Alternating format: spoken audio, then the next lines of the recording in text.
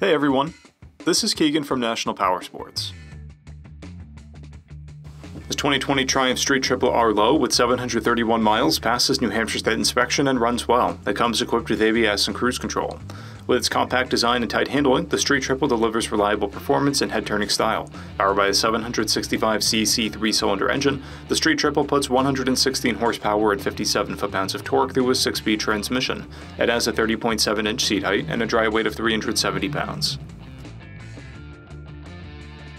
To see everything we know about this vehicle, including full mechanical and cosmetic condition reports, the service repair order, high resolution photos, and more, please visit the listing on our website. We have also purchased the CycleCheck's Vehicle History Report. You can view this report by clicking the link on the right side of the video.